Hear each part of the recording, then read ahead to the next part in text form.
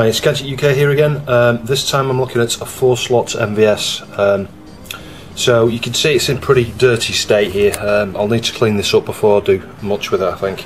Um, it's got a lot of dust and soot and stuff. You can see it here smeared across the board. I'm not sure if we've got some scratches there. We might have a problem with some of the slots. Uh, I'm not sure yet. Um, I'm not sure if we've got all the screws as well. It looks like we've got some screws missing. You can see one or two of the screws here in uh, a couple of the slots, but all the others have not got any screws, so I'm not sure what's going on there. Um, and it's the same with some of the, uh, the, screws that hold the interconnects. You know, I've removed, I think there were three. Had two on this side and one over the other side, but um, yeah, so it might have some screws missing as well. But if I switch this on now, um, point you at the screen, can find the power. Where See, we're getting VRAM error there, video RAM error, address 8000. Uh, it's written 5555 and it's read back FFCF, um, which is a bit odd. Um, so there could be a problem with the main graphics chip on here. It's using one of the old, it's the old chipset this from the first gen AESs, um, like a Pro B0, C0, etc. I'll show you that in a minute when we have a close look at the board. But um, yeah, it looks like it's either, let's say, problem with the video RAM or one of those chips. I hope it is just the video RAM. Um, doesn't look like it's been worked on this. I've had a quick inspection. FFCF, yeah, that address just occasionally, not the address, but the actual value occasionally changes. Um, it seems to be pretty much stuck on FFCF now though. So with the SMK DAN uh, BIOS, you can see there, it's coming back VRAM data um, address 8000 actual BFCF. Not sure what's going on there. I think before it was something like FFBF or something, wasn't it? So uh, that's strange in its own right. The difference between the two different BIOSes there.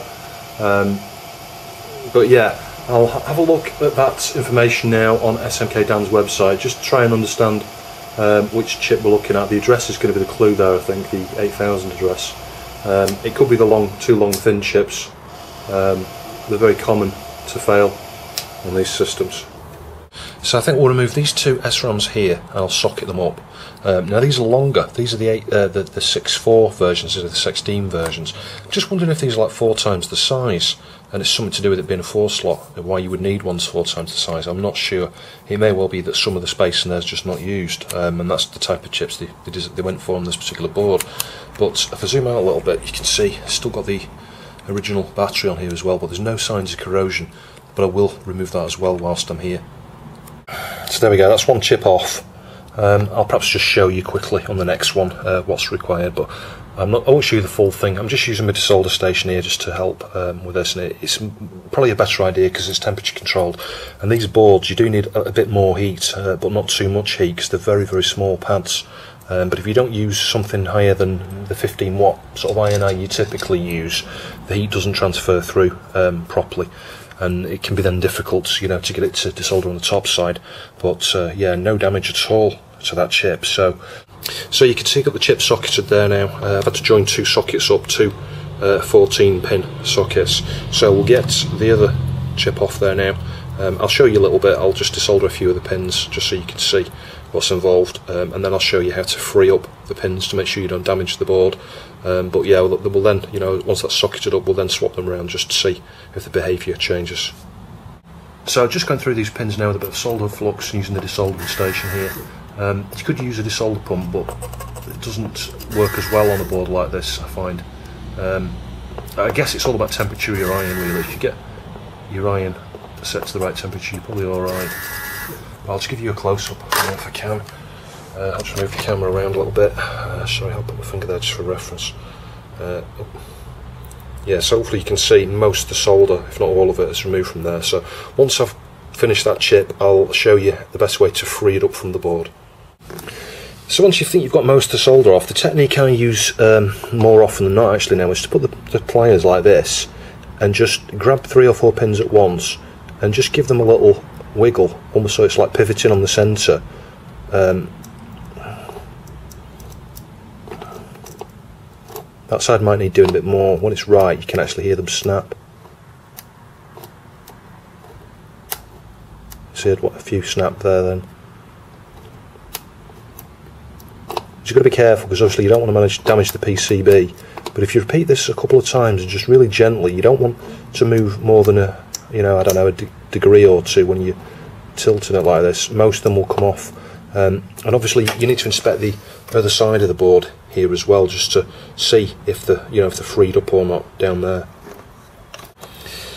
So when they're being persistent buggers, and even though you've freed up, you know, you can see you've got most of the solder off there, and you've wiggled the pins. Sometimes what you can do is just use a little flat blade like this, and just push into the pin a little bit until you hear a, little snap. And I've just done this with this side actually. And if I just carefully now just just try and wiggle this, and wiggling it like this is sometimes a good idea as well because once you can wiggle it, you can see it moving freely like that. It's a safe bet that most of the pins are off, and you've just got to just keep inspecting. Um, you can see down there, pretty free. Most of the solder's off, um, but the, the do the wiggle test. If it starts to wiggle, you know it's pretty much free, and then it is just a case of putting a flat blade screwdriver or something just underneath. Don't lever it. Just try and lift it. Can you see it's just coming off on that end there? Um, and then do the opposite, same on the opposite side. Just be mindful of that. You might have a pin still caught somewhere, your last thing you want to do is pull it if there's any resistance. But if there isn't, like there is here, that's just come straight off, as you can see. No issues at all. Uh, I'll need to straighten the pins up because one or two of these I have pressed in just a slight, you know, slightly, like I say, to make it snap off. Um, but yeah, that's not too bad actually. Uh, clean that chip up. The other chip needs cleaning up as well. There's still a bit of solder on the, the pins actually. I just stuck it straight in the socket. But yeah, we'll just clean that up now and get this socket on there and we'll retest with the chips swapped around. Well, what is interesting, these are not the right chips. These are the palette RAM chips, um, and I know that because if you remove one, it fails on the palette RAM check. Um, and the address, uh, you know, not the address, but the the data, uh, the word that's come back is exactly the same, even after swapping these chips around. But it was only after removing one of them just to see what happened and realising we're getting a palette error um, you know, it's stuck on the palette test. You can see the screen, you know, the text changes colour like it's doing, trying to do a palette test there. This is the palette RAM, so this is it's a bit different from some of the other MVS boards where the long, thin chips are actually used for the um, the fast VRAM. Um, I think typically some of these type chips are used for the palette on the the other one, but that would seem to be the case. So I'm going to go with these two here because they're right next to the LSPC A0, which is the graphics chip. Um, you can see, you know, the bus coming across here. So uh, I suspect these. So I'm just going to heat the hot, you know, get the hot air on there, remove both of these, and put a couple of new chips on there, and we'll give that a try. Well, you know what? I am a complete muppet. Seriously, these two are the palette RAM chips.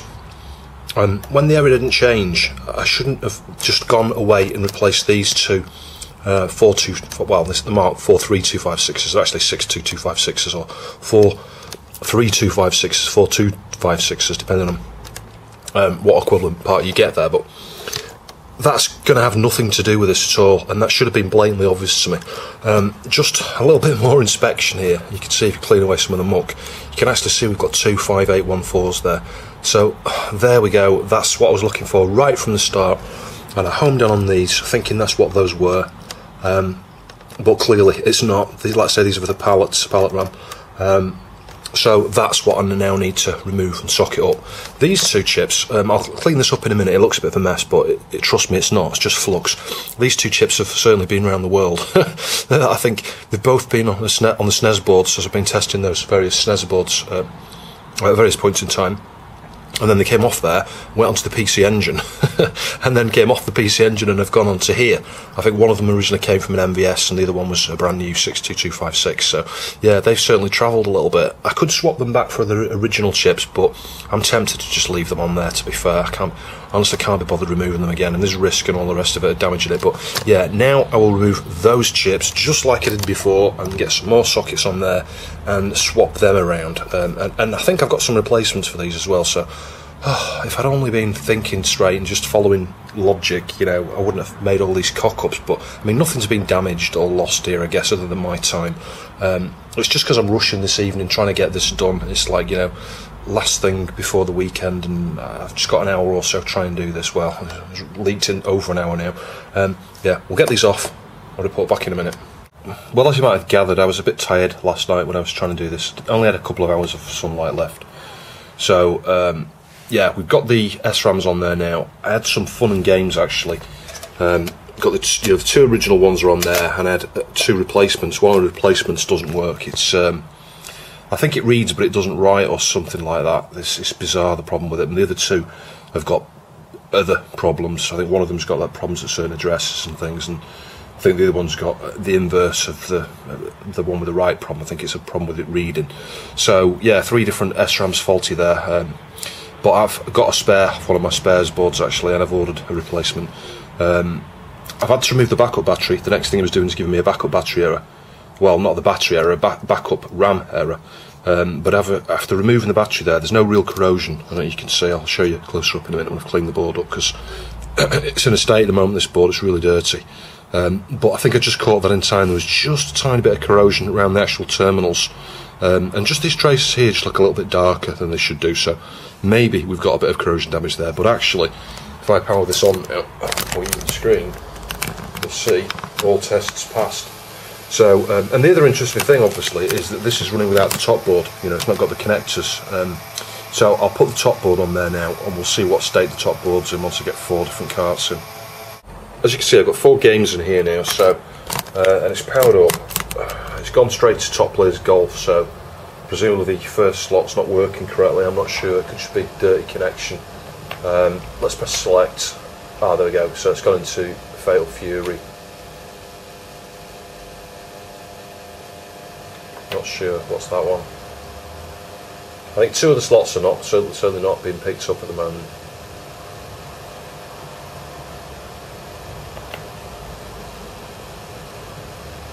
Top players. Yeah, so I think I'll just try reseating them. So after reseating me uh, Art of Fighting, you can see it has detected that, okay. Um, got no sound at the moment because I've got no sound connected up to the super gun here. I'll have to try and think of something to do in a minute to get that sound working. Um, sorry, I'm getting cold. I need recapping. Uh, so let's press select, top players golf, select again, Fatal Fury, select again, puzzle bobble. So, yeah, it would appear that, uh, yeah, this works fine. There's no problems at all there. Uh, so, not a bad pickup really. Um, I'll clean the board up and I'll show you once I've cleaned it all up. Um, and I'll perhaps do some tests with sound after so you can hear it working.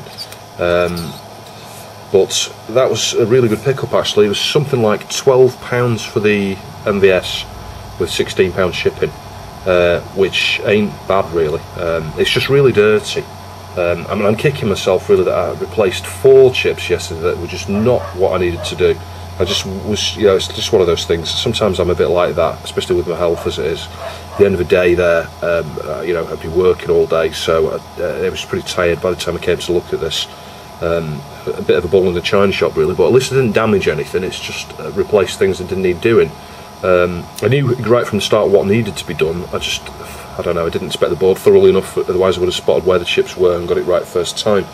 Um, anyway, I'll clean this up now and uh, get some speakers or something attached and just give you uh, a close look, close look at the board. Really, we'll have a, a, scan around it just so you can see some of the components are on here because they're pretty beefy boards. These there's a lot to them.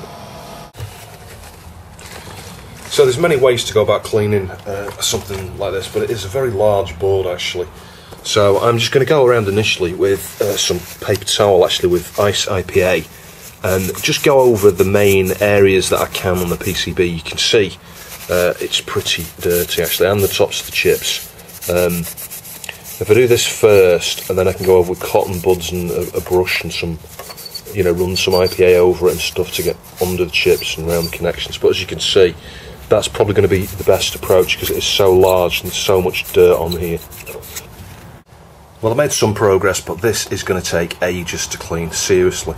Uh, there's that much, um, you know, that many small nooks and crannies and that many areas here that um, are just filthy. I mean, look at the combo there. It's, it's, just absolutely filthy. This is the sort of thing that needs like almost power washing or, you know, sticking in a, uh, a dishwasher or something. Certainly some sort of ultrasonic bath, you know, but you need quite a large um, volume bath to be able to accommodate the size of this damn thing. Um, one of the nice things with these boards, and the two slots and things as well, um, and six slots, I guess, uh, one of the reasons why people tend to go for these for consolisation is you've got the um, joystick ports here, Uh, and then you've also got sound, you know, like headphone line out, and then separate volume sliders for the line out and headphones. Um, you've also got your memory card uh, readers. You know, you need you need like a cable that comes off an adapter. So that's what I think those are for. Um, might be other things as well. I think they might have the credit displays and things coming off those, or it might be these. I'm not sure. These, uh, I'm not really sure. I, I need to look at the um, service manual for this. But um, yeah, the other interesting thing, you know, thinking about uh, this while I'm cleaning this up, as I was, uh, it st- starts to dawn on me, you know, how many people have probably played this system at some point in its life. Uh, you know, there's a history behind it. I wonder where it's been. I wonder which arcade um, or pub or wherever this was located. Um, it's a shame we'll never know, really. But so here's a quick update, so you can see how I'm getting on. Uh, it's looking a lot cleaner. There's lots, lots of dirty patches. You know, you can see lots of areas like. Look how dirty that is down there. Uh, lots of the bits around the offshoots of the chips and things and around the caps. It's very, very difficult to clean this.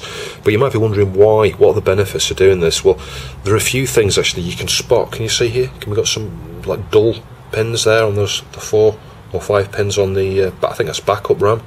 Um, so that needs reflowing. Um, and then I did test briefly before with uh, see if we could get sound, and there's no sound coming out of this at all, and no errors.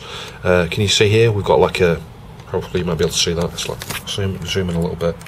Um, it's like a bit of corrosion's got on there. Maybe we've got a burnt out trace there going to the 3016. I'm not sure or something around the sound circuitry there.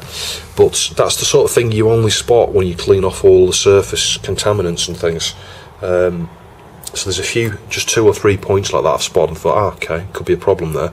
Um, the backup RAM, um, as I don't know if I showed, but it was given a backup RAM error before, and then removed the battery and it was all right. So there's a chance that chip might need replacing. It could even just be bad connectivity there, but there's certainly no corrosion around here at all. Um, it's just I don't know where moisture I think's got on there in those two different locations. But uh, yeah, anyway, I'm nearly done now. I'm not going to get this perfect. I just want to get most of the dirt off it so that it's you know it's clean to handle and stuff. You don't get black hands every time you touch the damn board. The audio side here might need recapping. I'm not sure, but I think I'm going to inspect that trace next just to see if there's any damage there. Um, maybe that's what's wrong. Maybe that's why there's no sound coming out of this. But other than that, I think it's probably going to need a recap to get the sound working.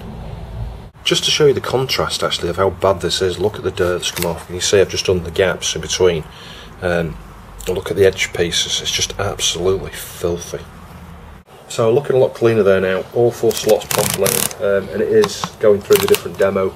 Uh, if I just turn up the volume on these headphones, you might be able to hear it, just bear with me.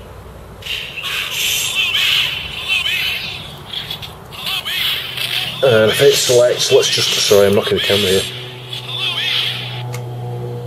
Bubble, Buzzle Bobble, I think. Top players golf. Uh, Art of Fighting, I think. Hopefully you can hear the sound. It's not very loud because it's coming through headphones here. So the sound's a bit noisy. Um, the headphone output is not working, I don't think. So I think it just needs a cap kit. So I might cover that on a following video, I think. Um, I'll perhaps just reassemble it all now um, and just show you it reassembled. The metal case is not in a great state, it perhaps just needs sanding down and respraying. Um, so I might consoleise this, I think that's probably what I'm going to try and do with it. Um, and I think more cleaning is actually required on the board here, but anyway, I'll just get it all back together and show you the end result. So we'll just have a quick look over the board here now. Um, it's not 100% clean, but it's as clean as I want to get it for the moment. Uh, so you can see we've got the Yamaha, sorry, off camera, uh, Yamaha 2610 here. The sound circuitry seems to be in this corner here. You've got Z80. Um, there's the ROM for the Z80. Sorry, Z80, ROM for the Z80. Uh, supporting logic, I think, around here. Uh, got a 7432 there. Um, that's the RAM for the Z80, 6116 um, some 244s and 245s down here. Um, audio output section, so you got your stereo, I think it's stereo amplifier on here, um, your volume sliders, one for your headphones, one for your speaker. Uh, I think that's probably sound output. I'm not sure. And then you've got uh, line out, or you know, sorry, not line out, uh, amplified sound out, and headphones out. So a palette RAM, uh, which I previously swapped out by accident, uh, Doe, yeah. Um, got the nice old chips out here, the Pro B0, Pro C0, and LSPC A0. Uh, up here, uh, you've got a Pro CT0. I don't remember seeing one of those before on my old AES. Um, interesting thing, I've got a couple of sockets here. Not sure what that's all about. What what those can be used for. The marks uh, SC1 and SC2, and the chip types seem to be 531024. Uh, so yeah, put some comments below if you know anything about that. And you've got the fixed ROM here. Um, which I don't think you get on an AES. Uh, could be wrong. Um, what else have we got? ROM up here, I think. Uh, supporting logic, lots of supporting logic. There's going to be more supporting logic on this because of the obviously the multiple cart uh, capability. You know, the, fact it's got four cart slots, and we've probably got backup RAM, work RAM. Uh, could have those the wrong the wrong way, and then I think this is video RAM, as I showed very early on in this video. It's connected to the LSPC a0 here so yeah that's VRAM as well the third type of VRAM there's three lots on here and then the VRAMs obviously that with faults here um, at the 8000 address. Um, that's like I say that's what I was looking for right from the start. It's just it was just a bit of a stupidity um, on my part really.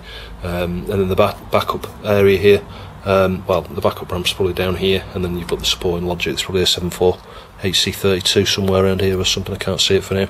Um, and then obviously the cart um, connections here. And I think this is probably not just the cart stuff it's probably the um, LED um, for player 1 player 2 as well because I think on some of these um, larger boards you know multi-slot boards you've got some facility there to drive like a little uh, LED display or something for the number of credits I think.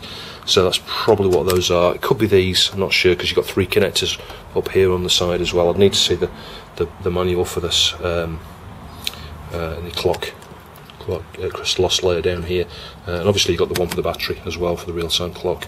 Um, so yeah there's not much more to cover on this particular board. Obviously you've got your joystick ports back here and there's loads of these interconnects at various places. There's four of them I think in total um, that join your top board to your bottom board.